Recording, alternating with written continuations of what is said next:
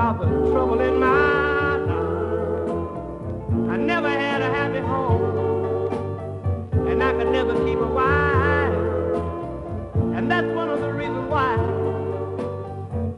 I had so much trouble in. In my life.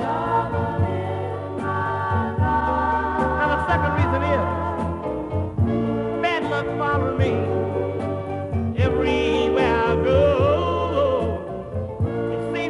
me.